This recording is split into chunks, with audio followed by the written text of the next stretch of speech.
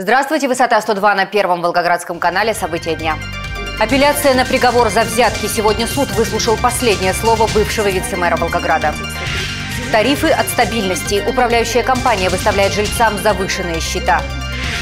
Городищенский коллапс. Сити-менеджер все же ушел в отставку, а зампредседателя Думы объявлен в розыск.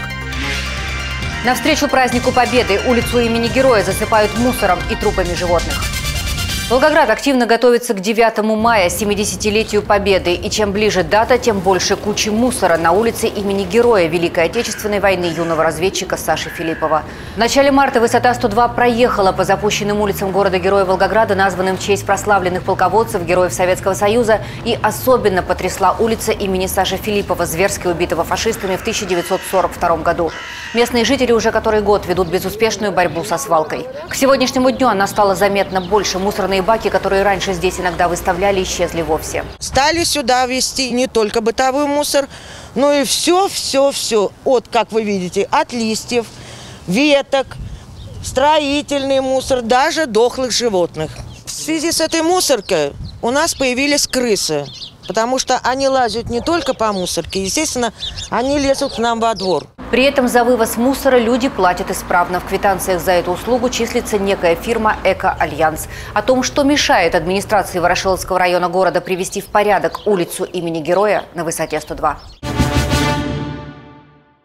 Сегодня стало известно, что глава администрации Городищенского района Юрий Долидзе добровольно ушел в отставку. Напомним, на минувшей неделе районная дума большинством голосов досрочно прекратила полномочия главы администрации муниципального образования в связи с его неэффективной работой. На следующий день суд временно вернул Юрия Долидзе на пост главы администрации района. И вот теперь добровольная отставка.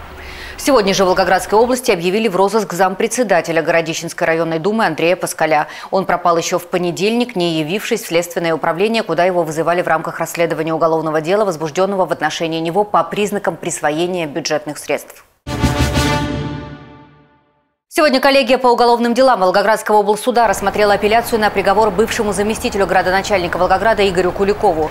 Экс-заммэра Куликов, который руководил в город администрации департаментом ЖКХ и ТЭК 17 ноября прошлого года, был приговорен к 12 годам заключения Центральным райсудом за миллионные взятки от руководителей подрядных организаций, которые выполняли капремонт жилого фонда. Защита осужденного подала апелляционную жалобу в областной суд, требуя отменить приговор и направить дело на новое рассмотрение.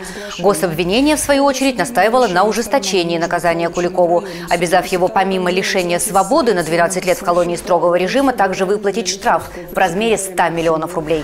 Сам Куликов сегодня по видеосвязи из СИЗО в своем последнем слове просил суд оправдать его. Оставить без изменения апелляционные жалобы с дополнениями осужденного Куликова, его защитников, адвокатов Сучугова и Острикова, апелляционное представление с дополнениями государственного обвинителя без удовлетворения.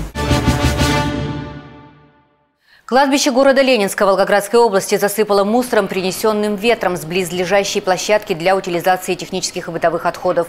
На видео, присланном в высоте 102 жителями Ленинска, коммунальщиков не видно. Как сообщили в администрации Ленинского района, на сегодняшний день территория свалки оценивается для выставления на аукцион для сдачи в аренду.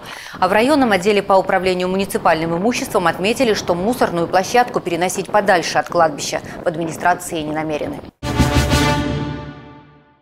Платежки, в которых плата за отопление подскочила сразу на тысячу рублей с каждой квартиры, получают жители дома номер 6 по улице Титова в Волгограде. Их обслуживает управляющая компания «Стабильность». И год назад «Стабильность» посчитала, что среднемесячный объем потребления тепловой энергии на один квадратный метр в доме вырос в два раза. И почти в полтора раза стал больше норматива, утвержденного администрацией Волгоградской области. Управляющая компания «Стабильность». С чем это связано?